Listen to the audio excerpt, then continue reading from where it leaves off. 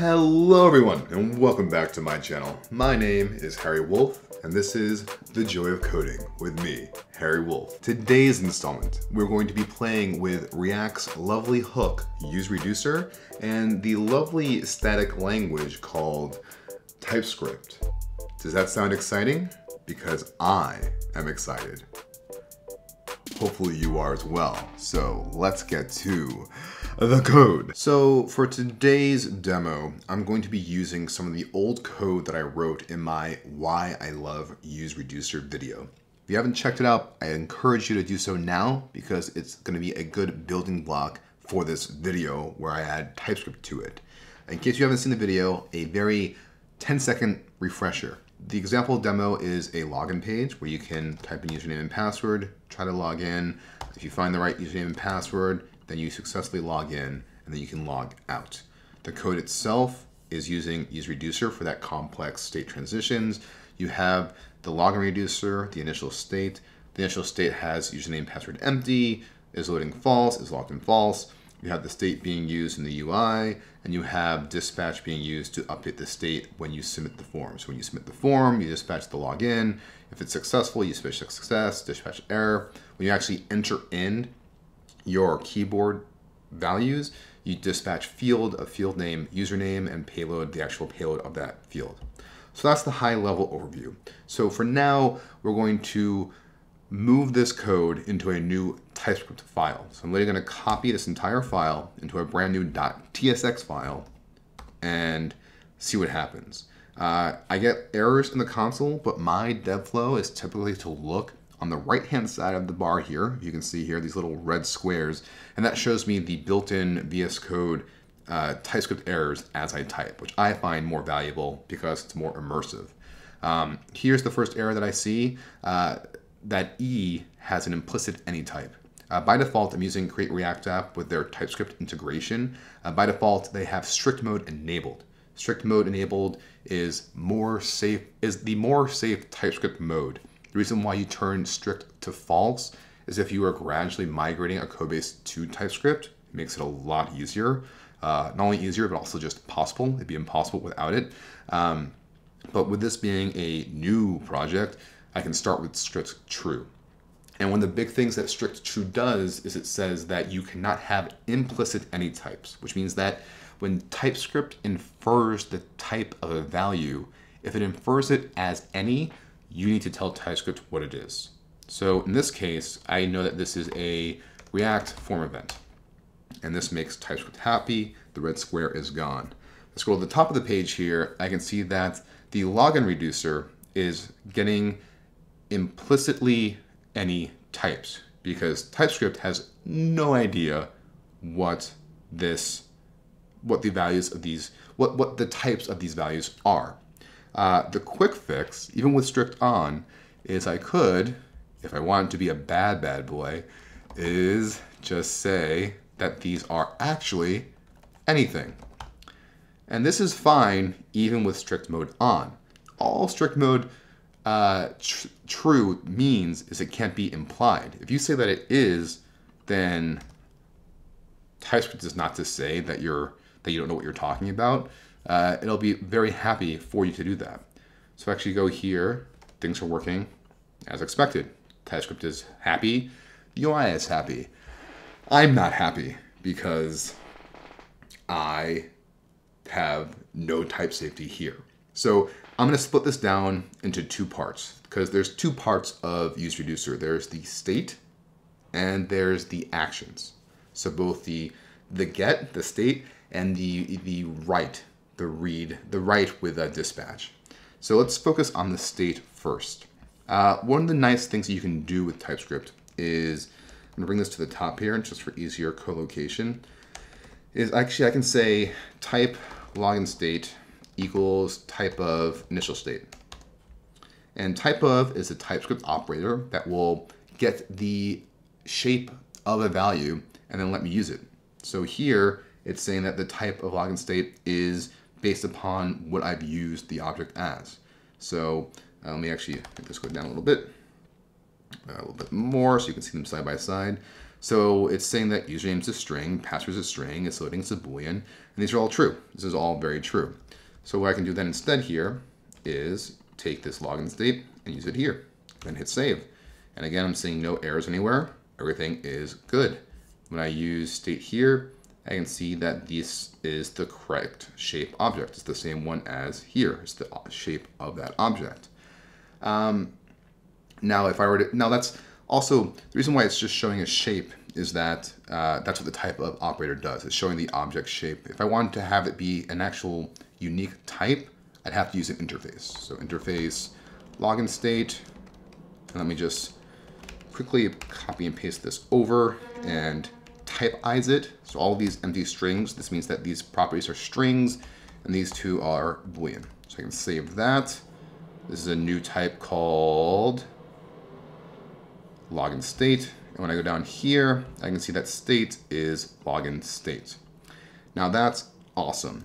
Uh, what's also cool is that um, one of the benefits of actually explicitly typing this, so is, um, let's say we had a variant here where the login state page could also be used as the forget password page. So this variant could be login or it could be forget password.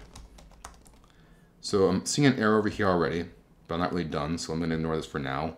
Uh, sometimes TypeScript error messages are um, really painful, but this one is actually nice. It's saying that variant um, is declared on the type, but it's not on the object. So here I can say variant is login, because I'm using it as login page. Now, you'd think that this should be working fine, but I still have an error down here. For shame, for shame, for shame. Uh, essentially, it's saying that type of property variant is incompatible. Uh, type of string is not assignable to type login or forget password. And you might be confused because the value is login, so of course it's assignable to login or password, but you're thinking of the actual values of the objects and not the types of the objects because the initial state here, this object, is being implicitly typed for us because we didn't actually say that it was the login the login state interface. If you look here, variant is just a string. It doesn't know that it's just that string login itself, which is why it's saying that the argument of type this, where variant is a string, which is initial state, is not assignable to the parameter of type login state. So how do you fix that? Well, you know this is a login state, so let's just say that it is a login state.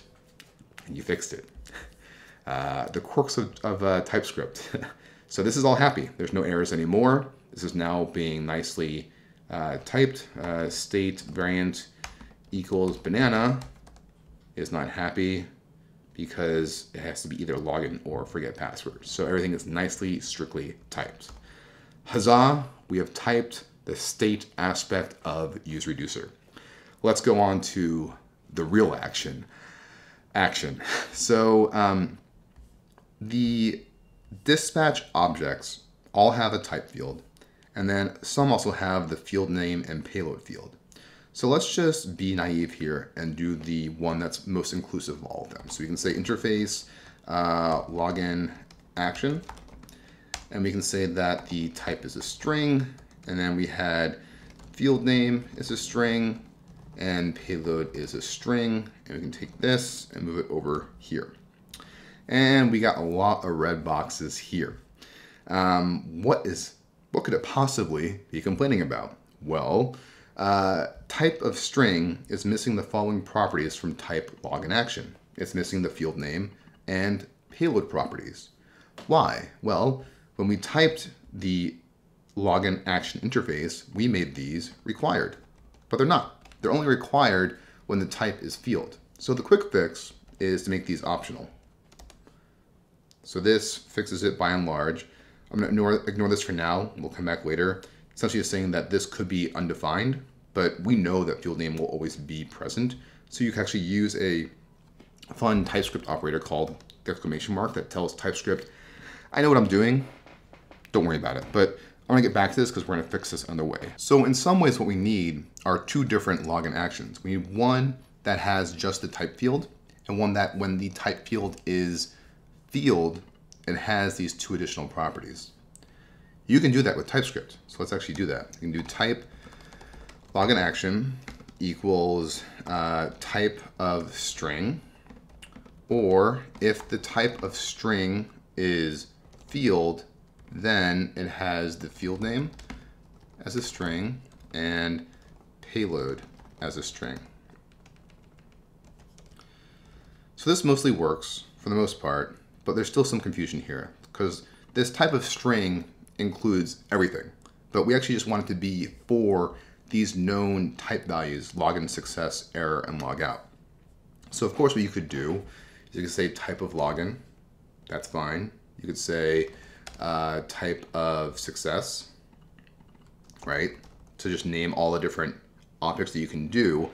But what's really neat about TypeScript is you can use, again, a discriminated union and say this type field can be either login, success, error, or log out. So that when there is an object being given that has a type field of just these strings, then there should be no other properties. When the type is field, then it needs to have those properties. And if you look here, no red squigglies. Nothing is complaining, everything is happy. And we have a fully typed TypeScript, we have a fully typed reducer function that's being used with useReducer. So there's no chance of us accidentally saying uh, login typo, right? That's going to be complaining because it has to be one of these string values. If I accidentally add a payload here erroneously, it's going to complain because it's saying that login cannot have the payload property, does not exist in type this. Everything is nice and safe and TypeScript. Hopefully that made sense. I find explaining TypeScript very, very, very hard. It is a very, it's the most technical of all the things that I describe, and it's a whole different world. And I find it very difficult to make digestible in this form. So hopefully that made sense. Let me know what's still confusing in the comments below. I will happily jump in and reply with clarifications. That's the video for this week. Hopefully you enjoyed it. If you're not a subscriber, become one. More videos like this happen every week. Uh, thank you, and I will see you again next week.